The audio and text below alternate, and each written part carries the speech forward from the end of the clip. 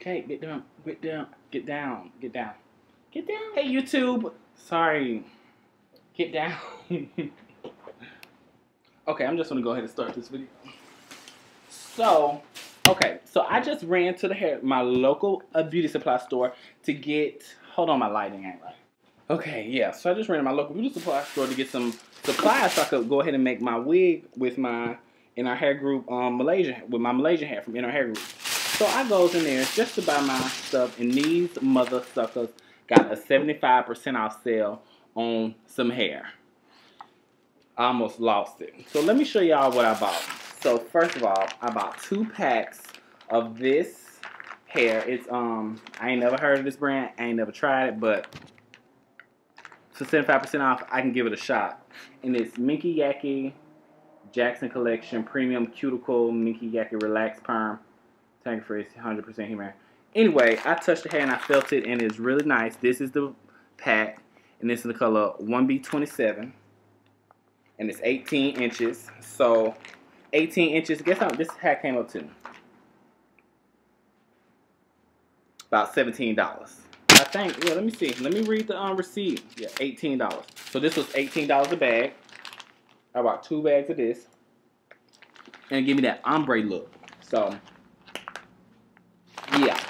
I've been wanting to ombre me some hair, but now I don't have to dye my virgin hair because I got some ombre right here.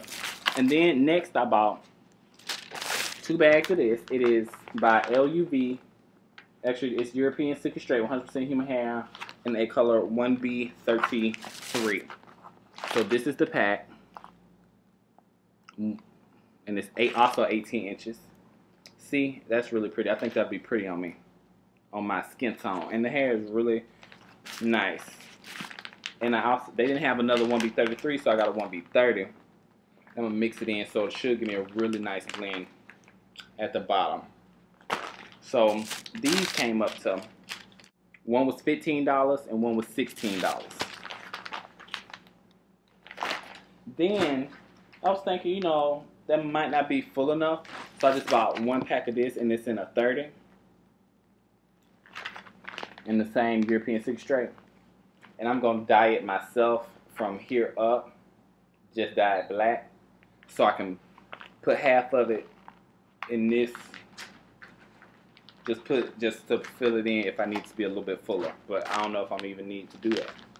So, and then this one was, this one was $15. The other two was $16. Okay, and then I also got some caps to make my wigs on and some glue.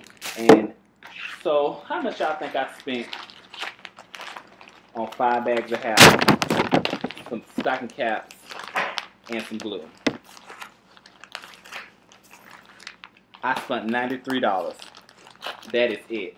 Like that, some people it might sound like a lot, but $93 for five bags of 18 inch 100% human hair, and it's colored hair. It's not just jet black. Color hair Cosmo. So I think I did really, really good, and I had to.